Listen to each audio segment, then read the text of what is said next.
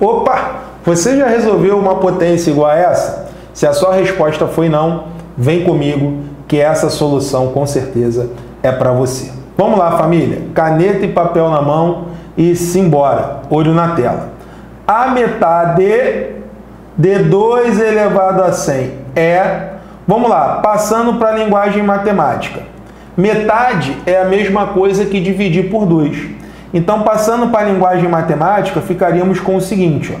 ficaríamos com 2 elevado a 100 dividido por 2. Quando não tem nada, subtende-se que é 1. Então aqui ó, é como se tivéssemos ali o 1, né? Está subtendido. Para resolver essa divisão de potências de mesma base, nós vamos lançar mão de uma propriedade lá da tia Teteca, Gotinhas do Saber. Qual é a propriedade? Divisão de potências de mesma base. Repete a base, tia Teteca.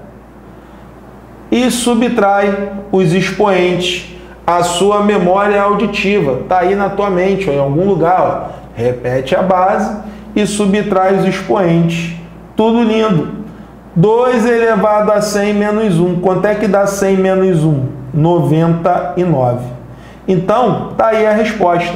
A metade de 2 elevado a 100 não é 2 elevado a 50, é 2 elevado a 99.